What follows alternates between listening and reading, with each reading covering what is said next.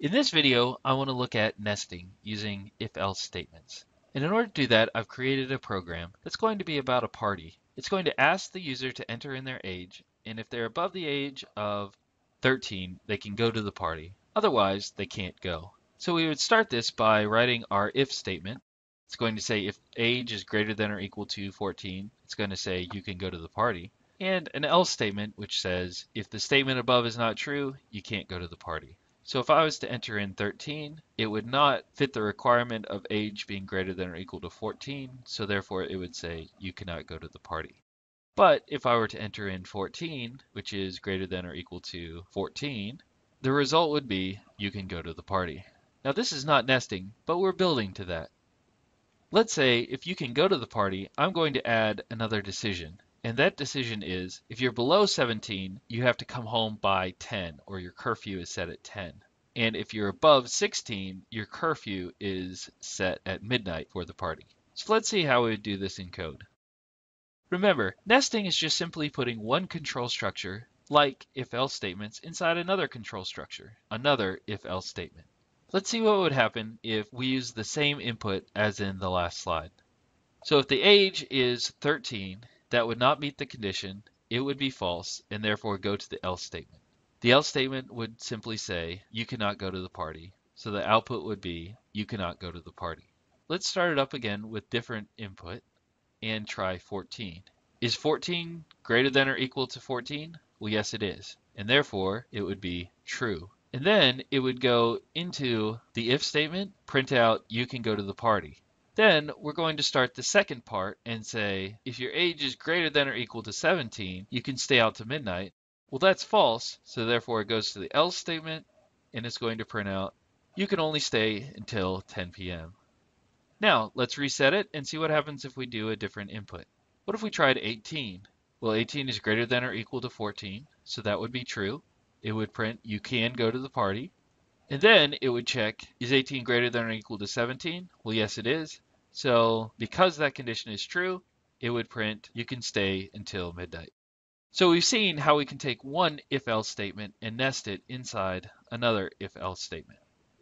Now nesting is not limited just to an if statement inside another if statement or an if-else statement inside of an if-else statement. You can also have an if-else statement with just a simple if statement inside of it. And that's what we're going to do inside of this program. It's going to require a little bit of setup. Let's say that you are going through your cookbook and you're trying to determine whether you like certain recipes or not. And you're going to score each one as you eat it. So when you eat it, you're going to enter in a tasty score. And if it's below 10, it's going to be bad. If it's above 9, it's going to be good. And if it's above 14, it's going to be not only good, but excellent. And a numeric score is going to be associated with bad, good, and excellent. So a 0 for bad, 1 for good, and a 2 for excellent. So let's see how we would write this. So as you can see, I've nested an if statement inside of my if-else statement. And let's see how this would run with some different input. So first of all, we're going to start with the number 5. If I start with the number 5, 5 is not greater than or equal to 10, so therefore it would be false and go to the else statement then the else statement would change tasty points from 1 to 0. And then in the next step, we would want to print out tasty points. And we would say tasty points equals, it should say 0. But interestingly enough, this is going to say 1. And you say, well, why is that happening? And the answer is in how the if statement is being associated. You might be able to tell by looking at this that there's some ambiguity here. There's a question as to which statement that else belongs. Because of the indentation, it sure looks like it belongs to the top if statement. But that's not how the compiler is reading it. It's reading it as if it is tied to the inner if statement. So when we run the program, what's really happening is if score is greater than or equal to 10, well, it's not because score is 5. We know this to be false. And then it doesn't go to the inner if because the condition is false. And because that else is associated with the inner if, it won't run that either. So therefore, it skips over everything and goes down to printing it out. Because tasty points is assigned to 1 right here, that's why we get tasty points being 1. Now how could we fix this? We could use braces. And while braces are optional, they sure do make a program easier to read.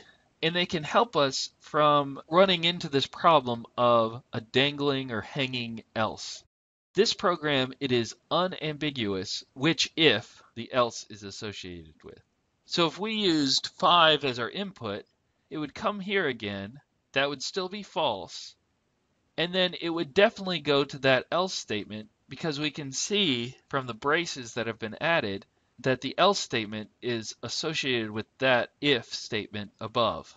It would change tasty points to zero and then it would print out tasty points is zero. If you want to be clear when nesting if-else statements, you can't do it with indentation. Indentation doesn't mean anything to the compiler. You must do it with braces. The idea of nesting is putting one control structure inside another control structure, like an if-else statement inside of another if or if-else statement. Especially with nesting if-else statements, it is important to use braces.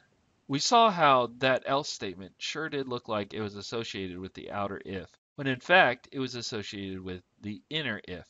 And if we had used braces, it would have been unambiguous and clear to both yourself and other programmers.